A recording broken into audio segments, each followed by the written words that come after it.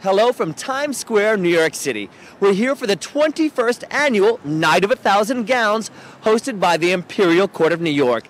This is a star studded event at the Marriott Marquis Hotel with performances from Cyndi Lauper, Darlene Love, and the coronation of the brand new Emperor and Empress, Craig Hollywood and B. I'm Ryan, and welcome to Night of a Thousand Gowns.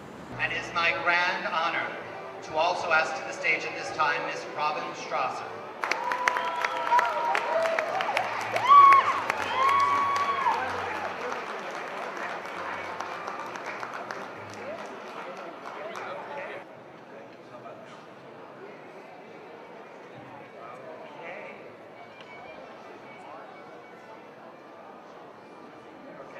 Uh, Robin Strasser is an award-winning uh, star of daytime drama One Life to Live, Another World, and All My Children.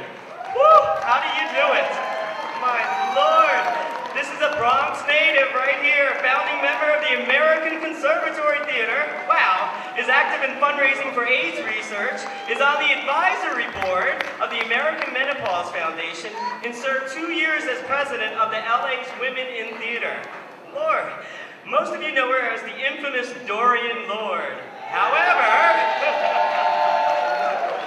however, uh, uh, we know her for her real particles. Robin Strasser, thank you for everything that you do. Please, Sonia.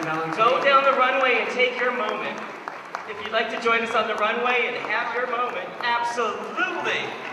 Let's give it up for our knighthoods.